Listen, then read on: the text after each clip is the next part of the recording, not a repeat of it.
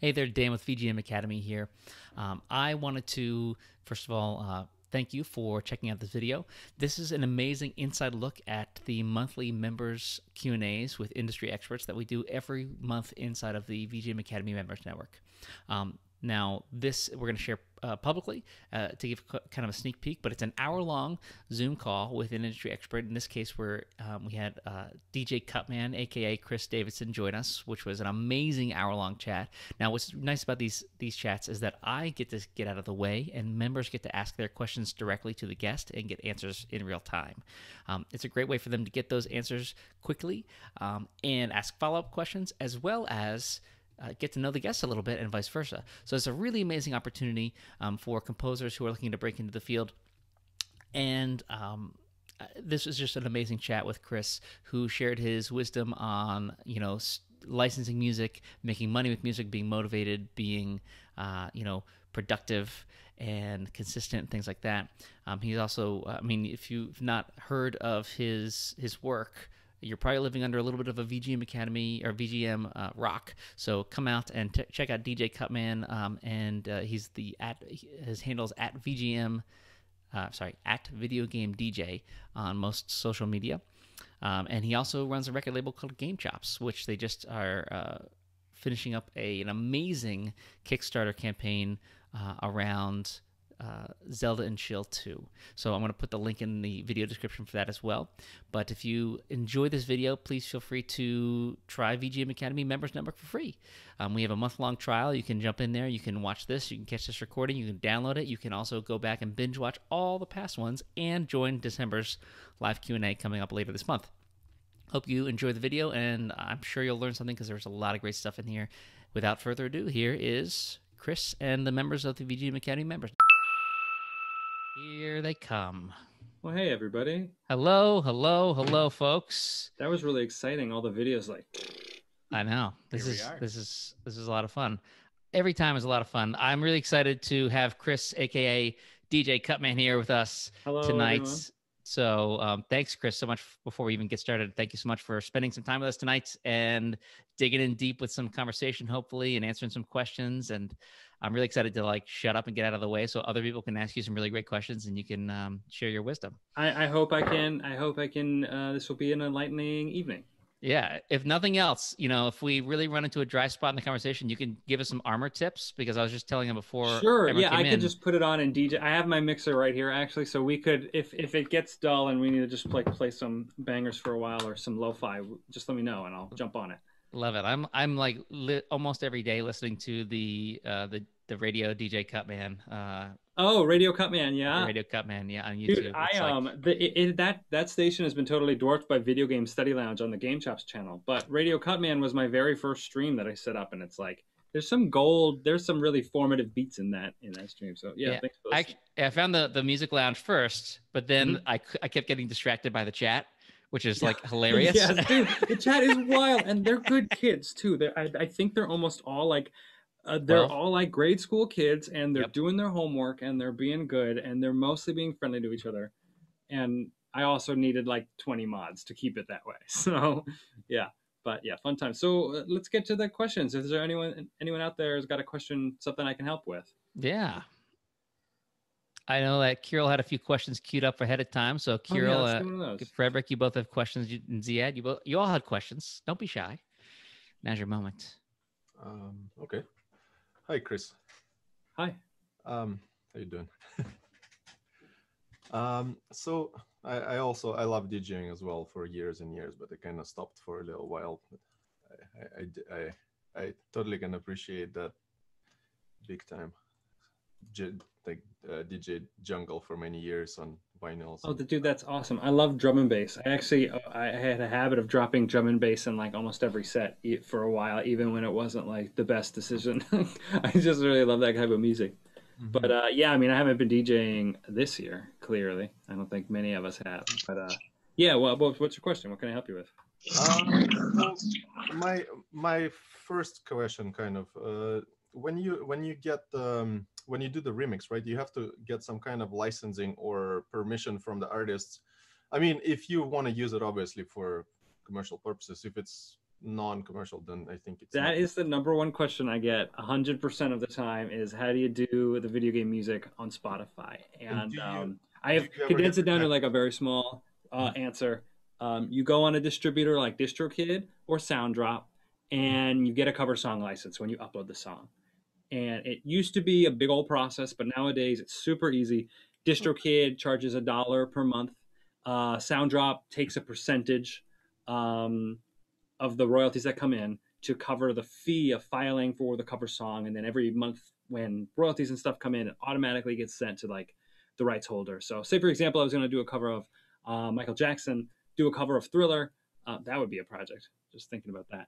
Um, I produce it and I can go on DistroKid and I can upload it and I can type in Thriller and I can upload my master. It's all if it's all originally created. And there's just a little checkbox that say this is a cover song, and I'll put the original songwriter Michael Jackson, the name of the song Thriller, and then when I upload the song before it goes out to like Spotify and iTunes and everywhere, um, they will get the cover song, what's called a mechanical license, which allows me to use the composition of the song, um, and then uh, manage it and like maintain it for the lifetime of the song. So like the Game Chops catalog, all those video game songs you hear on Spotify, they or iTunes or Apple Music. Sorry, I'm just such a Spotify junkie. It's open right now in my dock. Um, but on any, on any on any music platform uh, is licensed, and automatically whoever it is who's running the show, DistroKid or Soundrop, every month they are paying more licenses to the right holders, whether it's Michael Jackson or Koji Kondo or whoever. Um, Mhm. And then what's left over, they're giving out to the artists. So like, that's the basic thing. That was a long answer, which, but it's basically use Soundrop or DistroKid and get a cover song license. right. Too Okay. long version, yeah. Okay, because I thought you you know you you you're still going through pain of like finding a an a, an um, an artist who is like not necessarily even producing anymore, for example, you know, but because of the copyrights, it's like and you can't Yeah. do anything. So there there is some ground rules that help. Um, in the United States, um, the song has to be published in the United States to be um, to get a compulsory license, which is Mhm. something that actually was pretty cool. The government did back in I think the 70s, um, saying any song published in the United States, you can have a cover song. You can do a cover song of it. Anyone can, um, as long as they pay this. There's a word for it. This rate. It's got a fancy word, but I'm blanking on it. okay. But you pay this rate, which is about nine cents on the dollar, and you can cover any song that's ever been published in the United States. But so there's limitations to that too. Like for example, um, you wanted to remix. Uh, man, it's gotten a lot better in the past few years. But when I started, for example, I did a Metroid album uh, called Chozo Legacy. It was a 10-track mega uh, Metroid album uh, by the artist Blind, and um, really cool progressive house and and dark. Uh, uh, deep house and cool. It was it's a really cool album. Four of the tracks we tried to license, um, but they had never been published um, in a soundtrack form, and it, it was the only takedown that we've gotten in the Game Chops history because um, we tried to clear all the Metroid songs, thinking there was, um, but we could only do the ones that had been published on a CD. Nowadays, uh, Nintendo has put out a lot of collector's edition soundtrack. Um, Smash Brothers, there is a Metroid one now, and so it's really, really easy to find like almost any video game song you can think of um, that has a CD release in the United States, and you're able to clear it. So nowadays, it's really, really easy. But back in I think 2013 when they did the album, the Metroid game for 3DS hadn't come out, and the soundtrack had not either. So a couple of the more obscure tracks, like the one in that really deep level where there's like the fire water, I forget the name of it. Um, but we did a remix of that that was not published on the soundtrack, and therefore we could not get the rights to it. But uh, yeah, sorry, this was such a long answer, and I've never really been able to bottle it down. But uh, basically, yes, there's a great website called Video Game Database, uh, VGMDB, and if .net. And if you don't know this site here, uh, I wish I was a Zoom Pro and I could show you guys my screen, but it's VGMDB.net. I'll put it in the chat, and that is an incredible site that has basically every game soundtrack that's ever been out and it is a wonderful reference to see what has been published and what's available for a compulsory license um, from DistroKid, Soundrop, or in, or another way to get licenses, which is the old school way. Hey, there it is. Yes. So that's the site VGMDB. If you're looking to clear cover songs, this is the site where you search um, to see if the song, either the source of the song or um, the original soundtrack, has been released. And um, if you find it on this site and it looks like it's a real CD um, that's been published and like put it out someplace, you can go to DistroKid or Soundrop and almost certainly get a license. Or uh, there's another one. If you want to like, uh, say you want to do vinyl, like Game Chops is doing some vinyl right now. Um, and to do that, we need to get our licenses up front. And I knew this was going to be a licensing call. I just knew it. I, I was telling my wife, I was like, we're going to talk about licensing for the whole hour. Um, but you guys care about this stuff, right? So it's it's good info. It's hard learned info. So easysonglicensing.com is an awesome team of 10 people who uh, can clear these compulsory or mechanical licenses for whatever you're doing. So separate from DistroKid and Soundrop. So when we produce our like Zelda and Chill 2 finals, which we are currently crowdfunding on Bandcamp, I will also drop a link in the chat. Um, we had to pay for those licenses up front. We had to pay for 250 licenses for Bandcamp to even put the put the crowdfunding thing up. So, and we were able to do that with easy cover song licensing. We find the albums on Video Game Music Database, uh, communicate with the fine people who work over there, and um, pay them the fees for the licenses themselves and for them to do the work.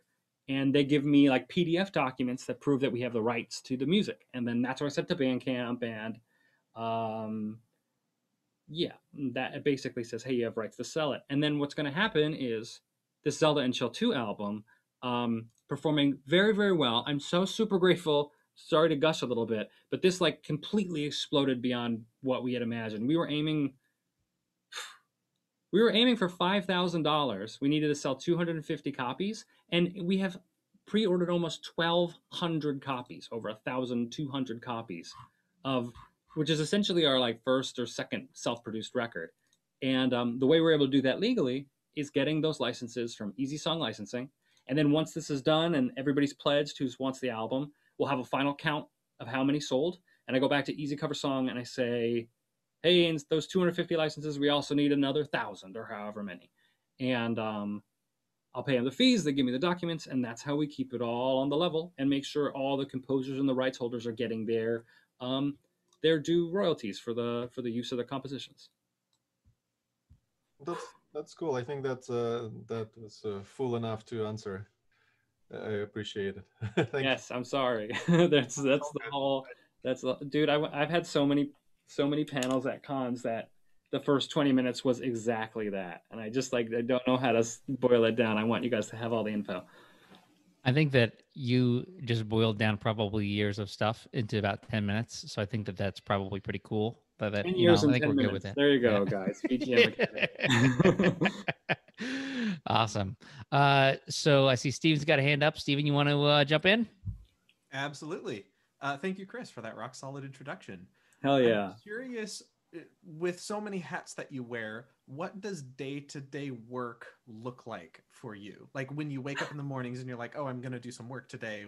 What does that look like? And then also, if you can give like a pre post COVID. So, like, how is this changing in real time since we've been sort of quarantined for nine months?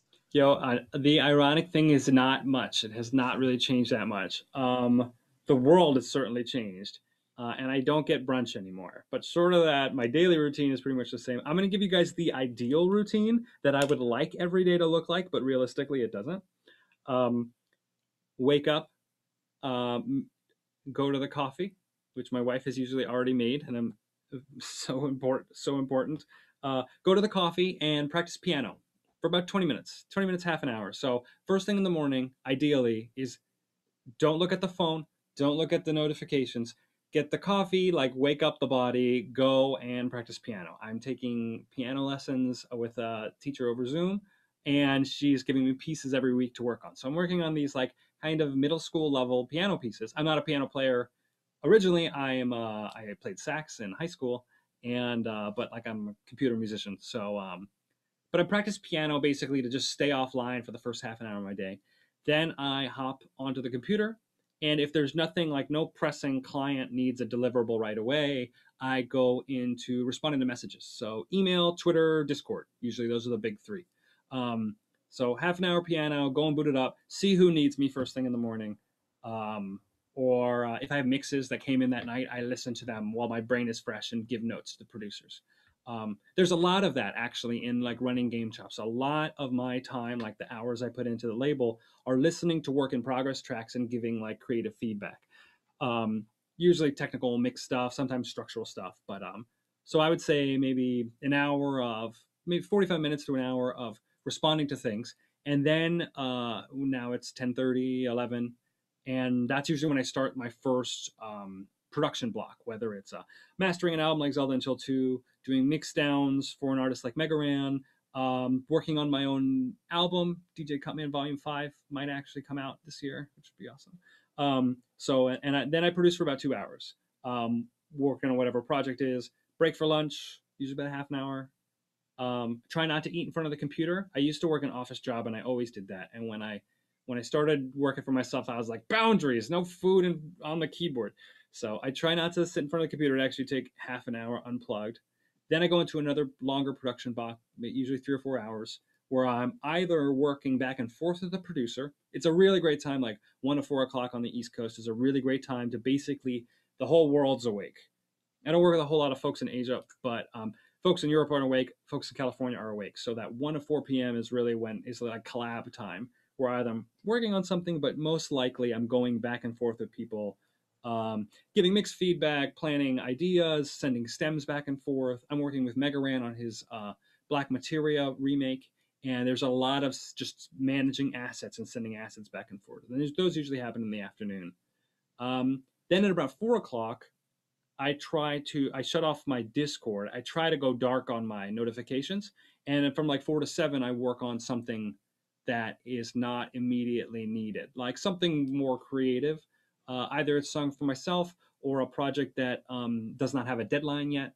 Um, basically, in the evening, I'm working on like more free creative stuff, and so basically, first thing in the morning, the studying, then the people, a block of work like production work and then try to do at the end of the day even if it's just a half an hour an hour of making a beat looking through gear like unplugging stuff and trying things um, just to remind me like why i'm doing this you know and um, and then that's pretty much it you know sometimes i'll do some emails or some metadata stuff on the couch afterwards but but yeah that's basically the framework that i i really think my best days are built like that I was going to say you started that off by saying ideally. Is there a realistically that sort of? Oh my god, yes. Are you kidding? Like, dude, the week before Zelda and Chill 2 came out was the most stressful week in my life because the licenses for some reason got delayed like five weeks. And usually it takes like a week, maybe two. Oh no, like 10 days or 20 days. That's like kind of crazy. But we've been waiting for almost an entire over a month and the album and we had announced it like so early on because we shipped six weeks in advance and we announced it because like of course it'll be ready. But like wednesday of the album release where we've posted all these trailers everybody's hype chopping at the bit michael the producer like hadn't produced anything in almost an entire year so his whole like his whole career is riding on this album and the the dot on distrokid is still yellow. That night i like didn't sleep at all. I just like laid awake like trying to visualize the yellow dot turning green like being like what am i going to do if this doesn't come out? We can't even push it back because it's like stuck in this limbo of like licensing and not shipped out yet.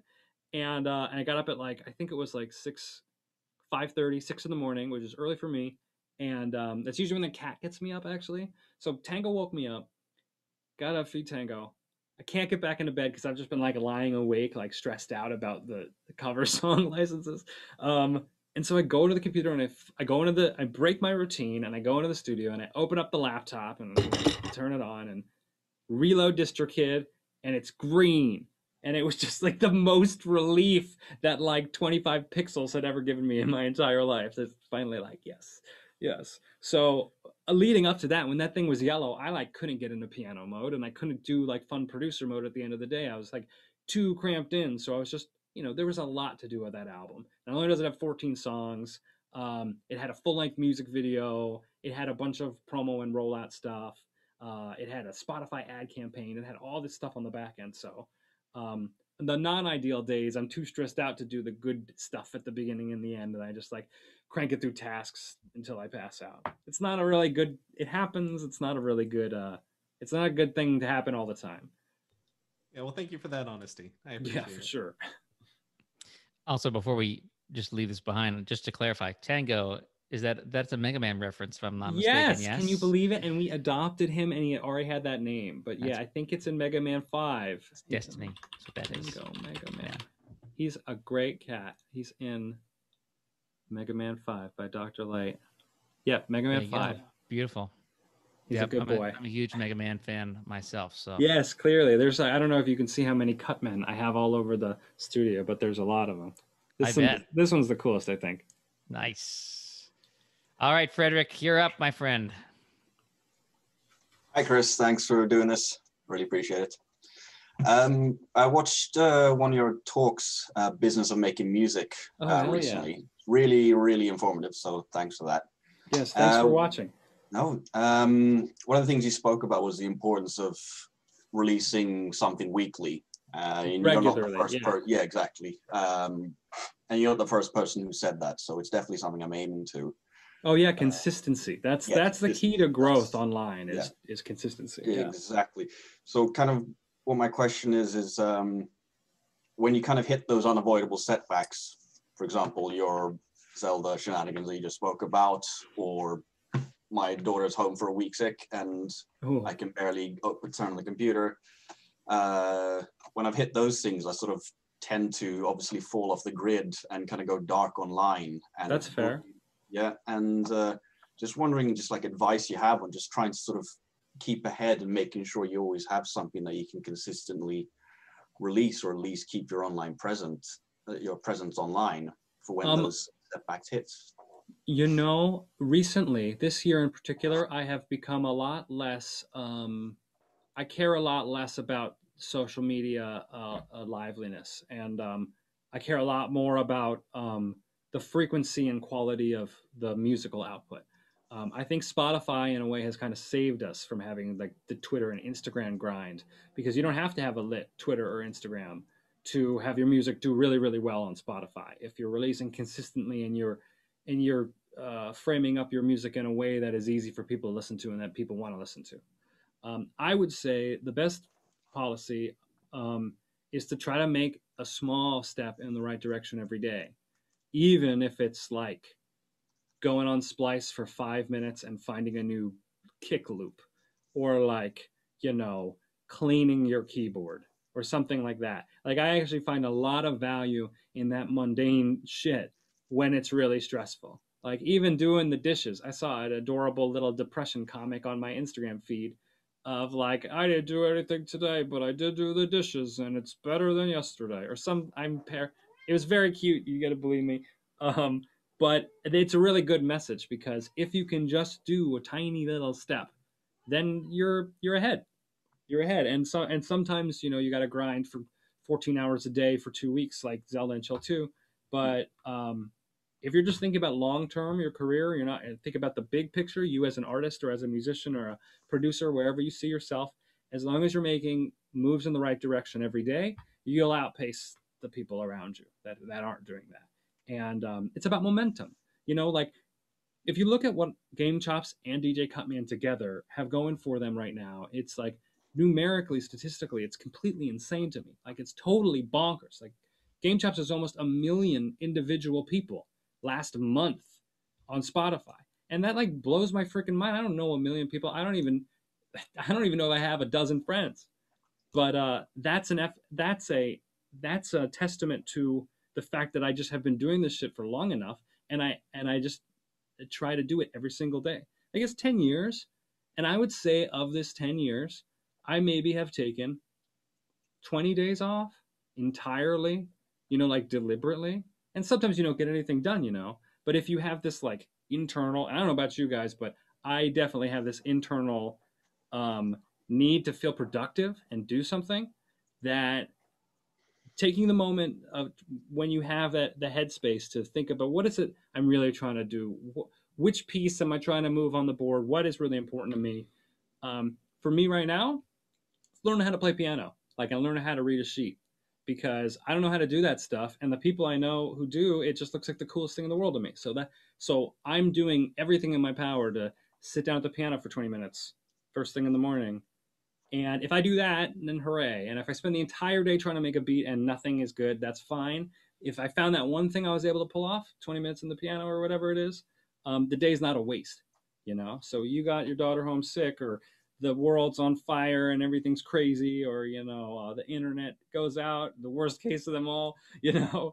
Um, if you could find one thing to do uh, that, that supports your mission, uh, then I then I think that you'll you'll feel all right in the long run. I mean, that's been what I've been doing, and it's been it helps. And you know, I, I lost my mom this year um, in October, and um, that was the month that we did all the Zelda Chill 2 production, and um, I was going through the uh, the darkest time of my life, but I knew I felt like I had a responsibility to my collaborators because I really do appreciate the artists that work with me on Game Chops. Like genuinely as people, like I try to take care of everyone. So I knew I had obligations to other people, but then I also knew that that's the work that really matters to me. Like mastering video game lo-fi beats. Like I would do that for the rest of my life. It's just I just love it. I just love it. So having work that I really appreciate and knowing that every day I gotta just be doing something, even if just listening to a mix one more time. Just put it in my headphones and listen to it five times while I'm going to get the groceries or something you're that much you're you're ready for when you get the opportunity when you get the time. When something opens up and all of a sudden you're like holy shit i have the whole weekend with nothing to do. If you've been taking little steps every day all those little steps you don't have to do when you finally get a big stretch of time. Because you get a day and you think oh yeah i'm going to do everything. But if you decide i'm going to plug in my new synth first i promise you nothing else is getting done that day you know? But if you plugged in the synth on monday and you got the power adapter on tuesday and you clean the keyboard on wednesday then when friday rolls it down all that stuff's in order and you can just like jam all day. So that's why any way you can build it into your daily routine taking care of your musicianship um, and the world surrounding it i think that it's really worthwhile because like that's how this room got built. It wasn't like planned. It was like every little chance i had i tweaked something or something and now it's the perfect space for me Oh, that's great. That's really, really helpful. Um, thanks. I also just kind of wanted to follow up. One of the other things you spoke about was sort of the importance of uh, scheduling the releases. I think mm-hmm. you're saying like making sure something on Spotify comes on the Friday release radar and stuff. Oh yeah, uh, I'll give you guys the um, I'll give you guys the game plan. I've been trying to do this, but every time I tweet about Spotify, somebody gets mad, so I can't uh, I can't deliver this information on Twitter. But uh, um, Oh, thank you for the nice chat messages, folks. What a good, what a good community we have here. Um, what was the question? Sorry, I saw the chat and it made me happy. And uh, scheduling releases on Spotify and uh, other. Ah, yes. Well. The um. All right, gloves are coming off. Um, so Spotify updates its algorithmic playlists on Sunday.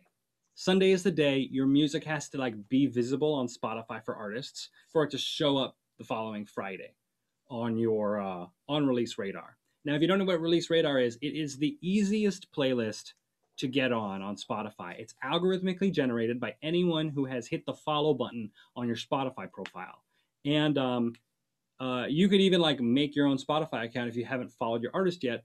Follow your own artist, and then on Friday, release radar will come out. And if you, even if you don't use Spotify at all, your artist's track will appear, and then it'll just cram a bunch of stuff it thinks you might like.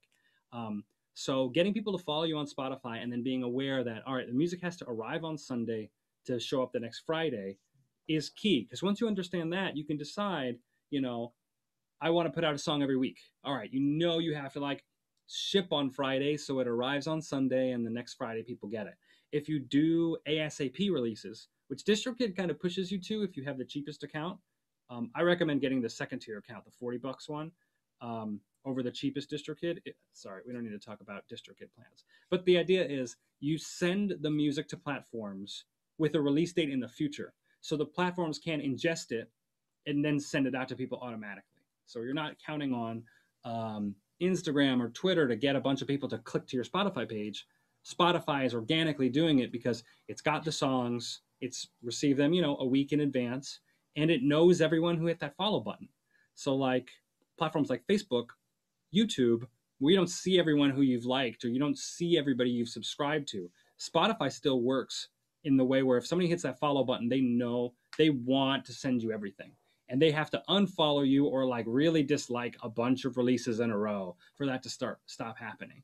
So um, yeah, you want to get your releases basically out a week in advance with the awareness that the algorithmic traffic on Spotify is going to come in on a Friday. And if you say you have an album's worth of material, 10 songs or say 12 songs, you can release them every single week. Every Friday have another one came out. And as long as you as long as Spotify has it in hand the Sunday prior, you can count on some amount of automatic algorithmic plays. And you know, if you're just starting out or you haven't been cultivating an audience on Spotify, that could be like 10 plays. It could be like two plays. If it's just you and your mom, you know, following you on on your phone. But the idea is if you're even if just you are listening to your own music, you're giving Spotify data about who likes your music. And it's going to look at your listening habits and compare them to other people. And over time, it's going to start recommending music that you made. And um, I'm 10 years deep and we've got a million people on Game Chops. There's a lot of things going into that. Don't say that. I'm not trying to suggest that every brand is going to grow that big. There's a lot of people uh, who contribute, but um, the the principle is the same: regularly releasing stuff um, and uh, getting it to platforms about a week early, and then um, paying attention to what gets plays and what gets saves and what people like. And then this is the hard part: deciding to make music that's going to cater to those people or deciding to try something else.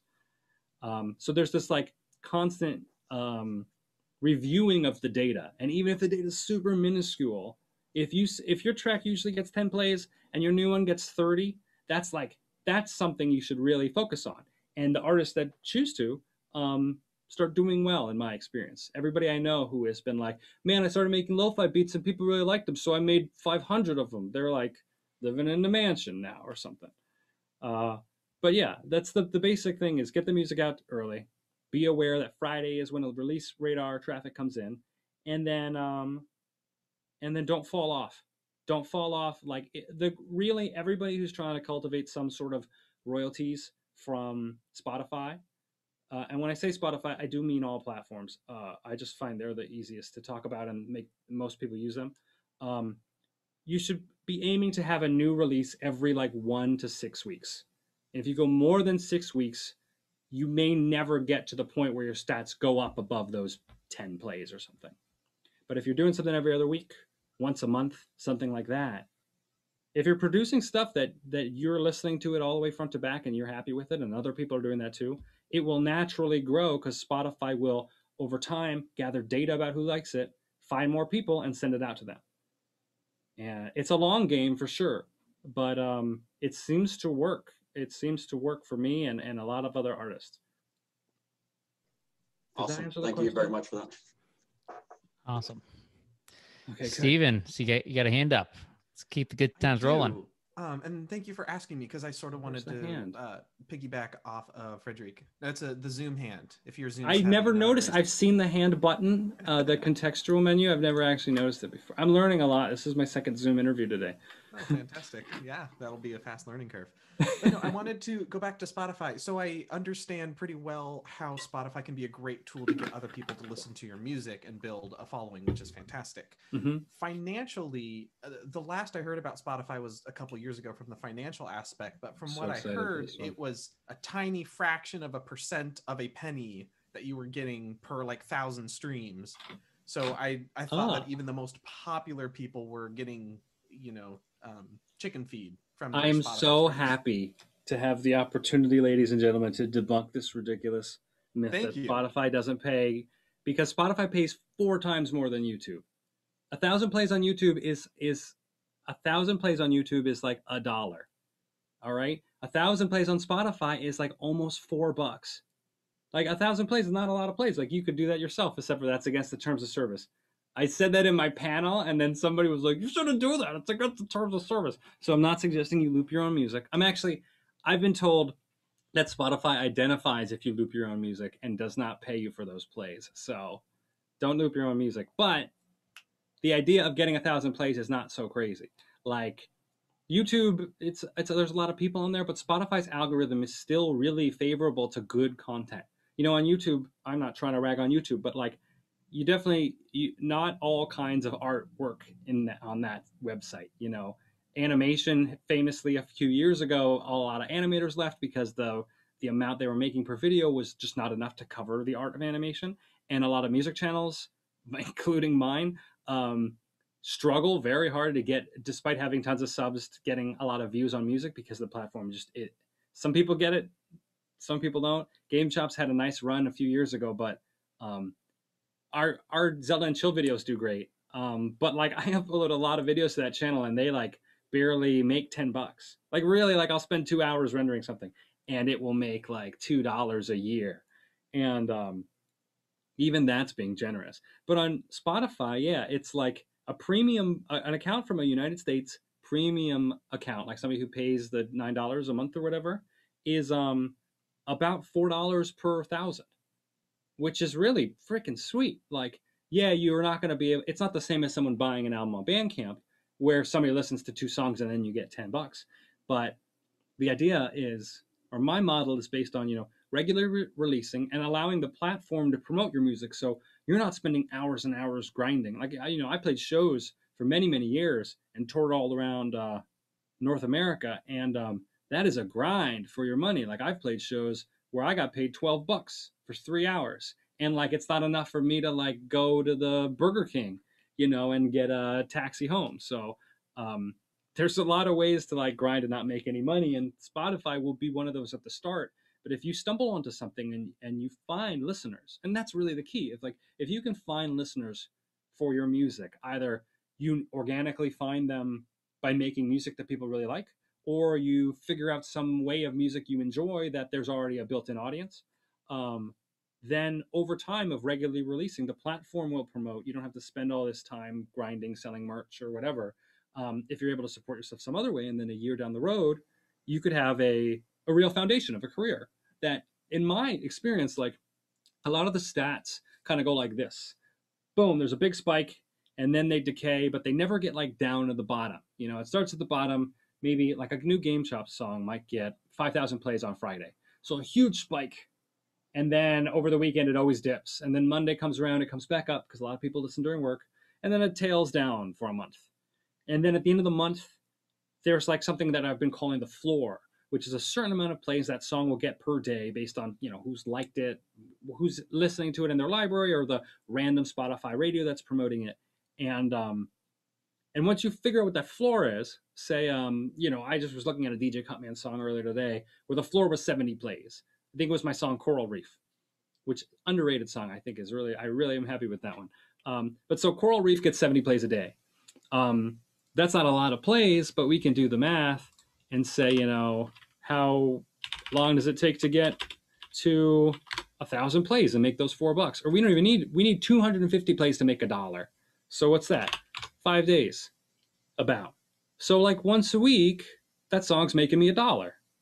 That doesn't sound like a lot when someone's mad on Twitter about it, but think about that. That's three hundred and sixty-five dollars a year, or uh, nope, nope, that's fifty dollars a year, fifty-two weeks a year. Um, and fifty dollars a year is not a lot, but then you know, what if you have ten of them? It's five hundred bucks a year, you know. And then all of a sudden you see, ah, if you release in a song every other week, you know, that's twenty-six new songs every year if they're all making a dollar a week, there's now you're making 26 bucks a week. And you're doing it with this idea of like all these songs having a floor. Um, you're doing it for the long haul. So like, yeah, slowly, if you stop releasing music, those floors would probably come down to zero. But as long as you continue putting data into the algorithm, Spotify can find more listeners to you, and that you've uh, put out music that you think is good and people are listening to.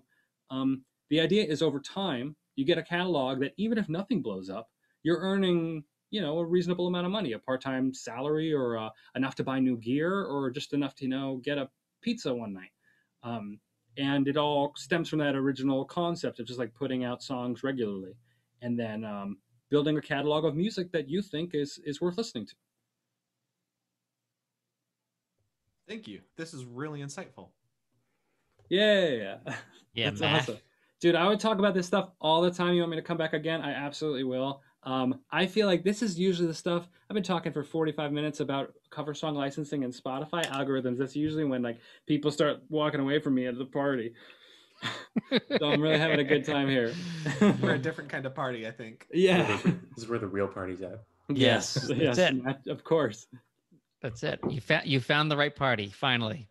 Um, Yeah, no, this is this is great, and I think that like breaking down the math of that incremental income is like huge, um, and we should definitely dig into that some other time, like super deep. But I don't want to. I've got like ten questions I want to ask, but I'm gonna let just you know ask his question because it's not about me tonight. Just you know, go for it, dude. If you can safely. Muted. You're muted though, bud. Hold on. Uh, Oh, he was unmuted for a second. There you go. wait, I'm unmuted now. Yeah, you're good. Okay, so here's my question. Sorry, I'm working right now, so I'm in my car, but this is great. Very Um, exciting. thank you for being here.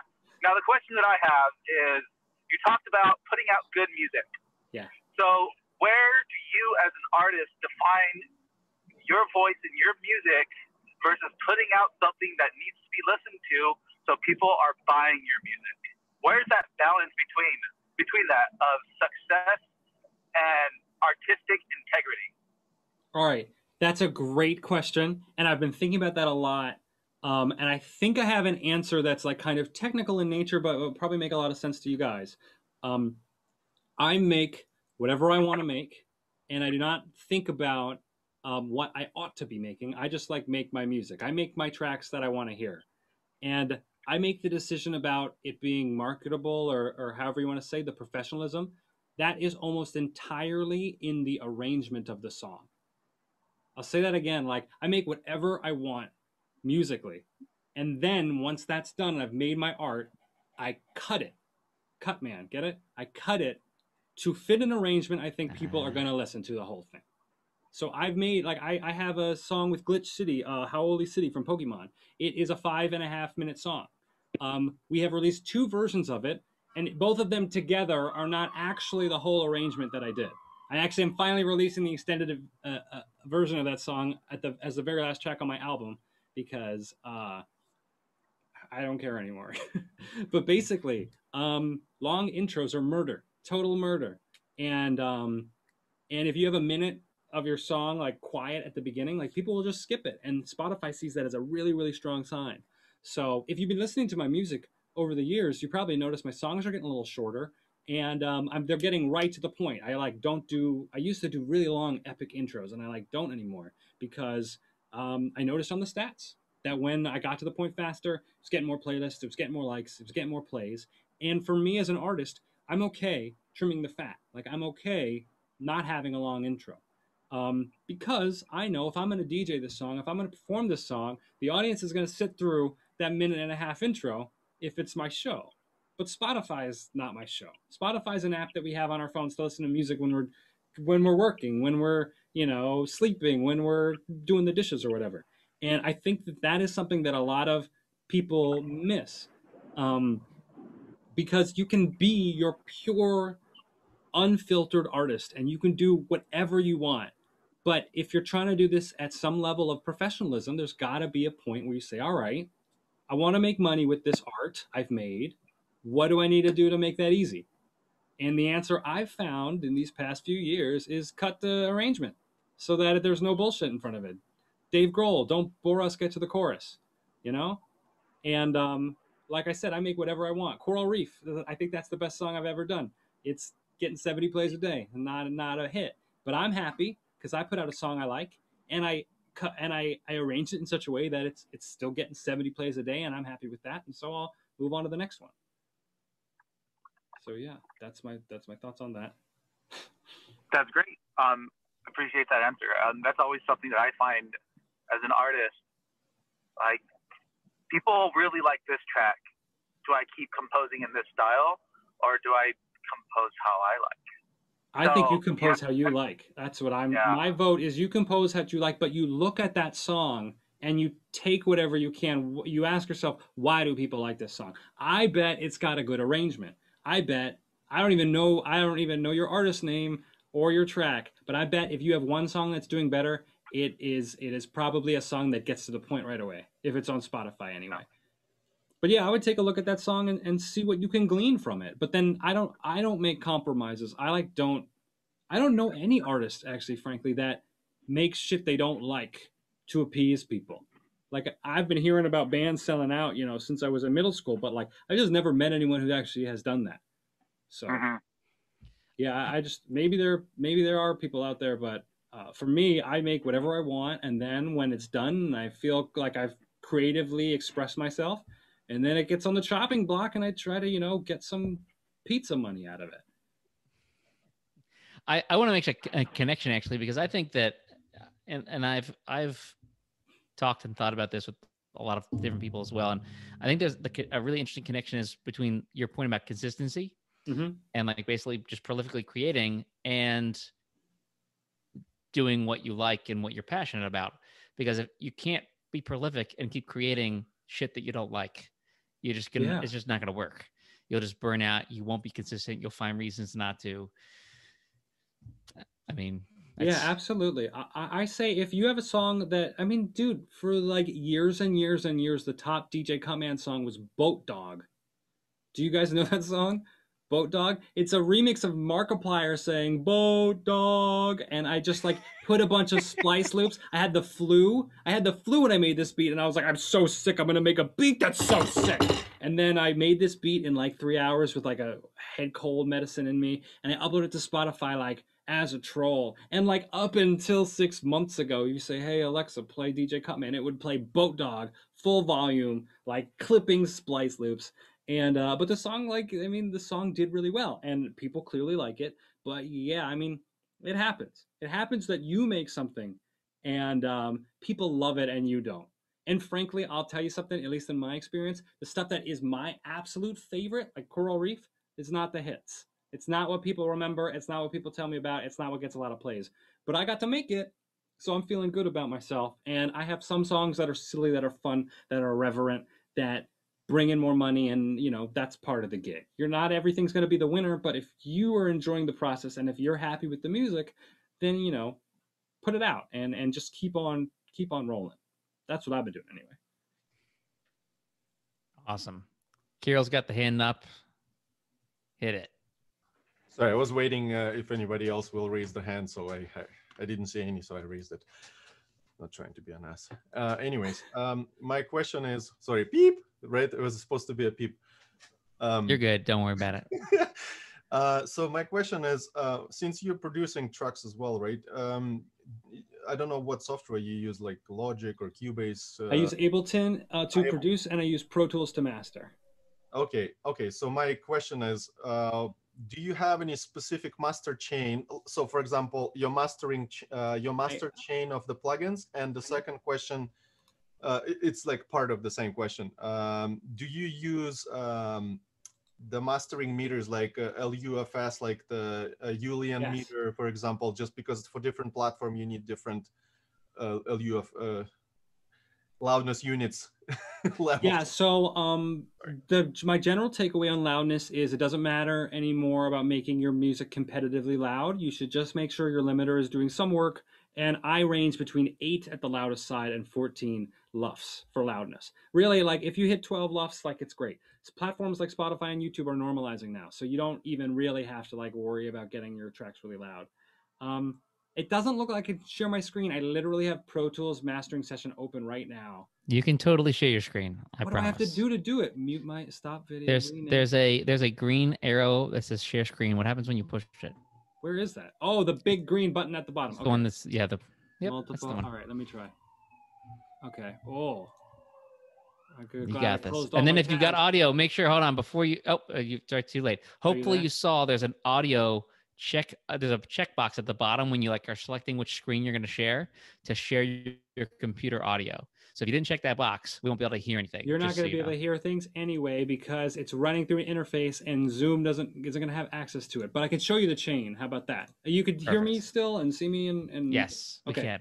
um, I can play the music for you when I have access to the audio devices. But let me show you. I'm doing this um, wonderful Christmas video game album with T. Lopes, where he has taken public domain Christmas songs and mashed them up with the melodies from video games. Uh, this one is called Carol of the Lost Woods, and I'll play it. You'll hear it through my mic probably, um, but I'll just quickly go through the plugins and explain what's going on. Uh, the first thing I have here is a subtractive EQ, just getting rid of any kind of stuff we didn't want. Since this was lo-fi, I just rolled off 18K and above. Then I have my favorite SSL compressor, bus compression, just sort of gluing the whole track together. I really love the sound of this thing. It's been on DJ Cutman beats since the beginning, and I still use it all the time. Um, slow attack, fast release, and a two to one ratio. Next up, uh, FabFilter Pro Multiband, more sort of shaping of the track. Um, it's a multi-band compressor. It's not that exciting, but it's nice and it does the job. Next is my secret sauce. This is the SSL EQ by Waves. And I love this for lo-fi because I can just turn down the high end super easily with one knob and then it's super lo-fi. Well, that actually sounds good. That's why I like this EQ is because you can get kind of meaty with it and it uh, it really has a nice sound. Um, then I'm for harmonics, I'm putting the Abbey Road vinyl plugin on it, which I've just started doing with lo-fi. Um, I don't use the crackle because the producers often put this stuff in. It's got a little bit of noise. It sounds like a lacquer on the Abbey Road turntable, which is just like really nice. I turned off the wow stuff because it's gross, but it just basically kind of makes the track even more like glued together. And then to top it all off, we have the FabFilter Pro L2, which is the most versatile limiter. I almost always use it because it's nice. Um, it has a great display, and you can see if I drop in where the beat is, we are, this is short-term LUFS, but you see we're around 12 LUFS in loudness. So this is a very simple ma master chain, one more time. It's subtractive EQ, bus compression, multiband, color EQ, I like to call it, harmonics, and then master limiter. So it's not really, and you could you could do a portion of this chain with like not all these things. Like multiband sometimes isn't even needed.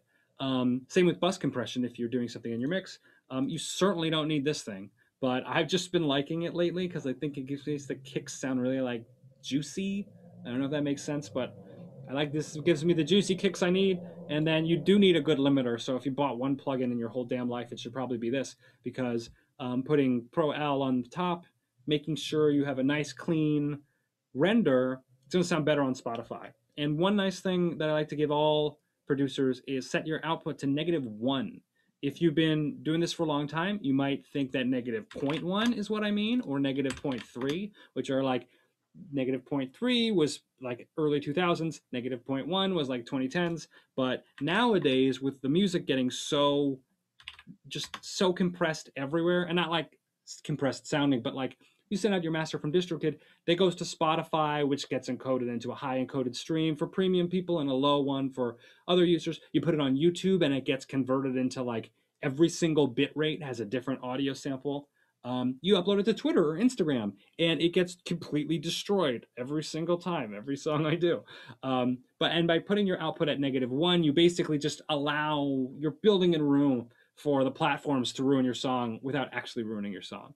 If you had your output at zero zero, you may have noticed, oh, it sounds great in my DAW, and then I upload it to SoundCloud and it sounds like trash. And that's all you need to do is bring down your total output level. And then if you bring in your waveform into like your DAW or a DJ software or whatever, you'll see that the brick of loudness will not like be all the way at the top. There'll be like a little bit of headroom. And that will just that just sort of helps it sound more consistent overall which for mastering, I really think the key thing is making sure the track translates, that it sounds good in a coming out of a phone or it sounds good coming out of a big PA system and it sounds good coming out of your headphones and all that stuff. And one really easy way to do that is just like give yourself negative one on whatever master limiter you're using. And then when it gets compressed in its life, um, there'll be a little extra headroom built in. And you're not really going to lose any noticeable loudness this way either. Not that that even matters anymore. All right. You guys got my lo-fi master chain. This is this I've been building this chain for like 3 years. I know it seemed like only 6 plugins, but they're really all doing a lot of work and it's in a really really great form now. Like it really delivers. Zelda Chill 2 went through this chain, Super Lo-Fi World 2 went through this chain. Now the T-Lopes Christmas album's going through and it's really just about like treating the stuff that we couldn't handle in the mix with EQ, compressing it, compressing it more, doing a little bit of EQ to just sort of make it really shine in the right places, and then doing something nice to the top end so the file comes out good. You know? And uh yeah, that's the that's the chain. Thanks for coming to my tutorial. I really feel like I should sign off a YouTube video after going through all that. uh, was there anything that I didn't like cover clearly in there? Any any questions about any of those particular plugins? It's a big rabbit hole of things I just opened up, but uh, Oh yeah, here look. There's the Zoom. awesome. Yeah. Thank Steven saying thanks for coming to my TED talk is right the sign off. Yeah. oh, TED Talks. Oh boy, I could talk about those. Um, so first of all, I just wanted to say thanks. This has been awesome. Um, we got about four minutes left. Sure. Um, so if we if anyone has like one lingering question left, I you know now's the time. I also want to make sure that Chris, you have a moment. You've got so many like uh, you know irons in the fire. I want you to like tell oh us yeah. what's going on I and can I can plug what- stuff, right? yeah, do All it. right. do it, man. Um, all right, let's do the plug, and then we'll take a question with whatever we have. So the thing that I would like y'all to support the most um, is the Zelda and Chill 2 vinyl. If you like records, you have a record collection or you collect VGM vinyl, um, please do back the campaign. It's only $25 and it's the cheapest it'll ever be. Um, it's a heavyweight analog, complete analog mastering chain from a guy out in California um, who does great work. It's a heavyweight, full length, uh, colored vinyl, and it's just super good. Um, not that I need you guys. You guys probably should be spending your money on DistroKid accounts, but if you do like vinyl or you know anybody who does, um, I I'm super happy that I'm able to like publish my own vinyl through Bandcamp now. It's super duper exciting. And if you don't already follow Game Chops, I'm putting the Game Chops smart URL into the chat, and I'll put the DJ Cutman smart URL into the chat too. Really, frankly, you guys don't have to buy anything from me. Um, but if you would follow me on whatever music platform you like, if it's Spotify or something else, if you don't already follow Game Chops or DJ Cutman, um, go ahead and hit that follow button, and, and you'll get our new songs on Release Radar, and you can tell me what you think on Twitter in an angry screed if you must. I could also say say for sure that the you know your your music is fantastic for any time when you need to get something done that is not making music. Like it is great. Put your nose to the grindstone music, and uh, for me, I know like uh, I have super sh- like I have like diagnosed ADD. I'm not just like saying that as a catchphrase. Oh, I've got- that. Uh, Oh, it- a lot of people a lot of people just like throw they're like oh i have trouble focusing sometimes it must be you know i've got i must have ADD like a lot of people like just say it um it's like a very kitschy thing to say Oh no. um, I've lived my whole life this way, and it's Yep. well, at least it's cool now, right? it's super yeah we're we're, yeah, we're at the top of we're at the top of the uh the pile finally um um and it only would help the chaos in our brains to be that cool um well, you know, so, I, I, uh, not to cut you off, but I do want to say that I, my ADD is way tempered when music is playing. And that's exactly where i was going with this exactly a lot of these songs, I, I, I, uh, I have made with that intention, not with that intention, but with that like direction. Like, while this beat's on, I'm actually working on music, and I'll just keep this beat going. You know, one of the beautiful things about Ableton is you can make a very small loop in a small amount of time and keep it running while you produce. And um, that's how a lot of my early work got done when I didn't have the confidence to like know structure or whatever. I'm just going to keep it looping for as many hours as it takes. Um, so yes, thanks for listening. And you know, Zelda and Chill 2, check it out wherever you uh, wherever you listen to music because it's I think it's I really think it's like one of the best sounding albums uh, I've ever worked on. So yeah, whether Awesome. on vinyl or digital, I think I'm really happy with how it turned out. Love it. Well, I- I'll I know I'll definitely share the hell out of that. So uh, this is uh, you want to say hi, hi, buddy. This is my my little minion is is here. Oh He hello. Um. So I think this is, is this his first Zoom appearance. I think this is he finally he finally broke in. Um. Must have snuck past the security. So uh, you guys talking about Ableton? yeah. Do you want to say hi? Hello. Hello. Excellent. um, cool. So, well, uh, Chris, thanks so much for spending an hour with us here today. You don't have to get into the camera. Don't worry, they can see you. See, You're right Oh. there.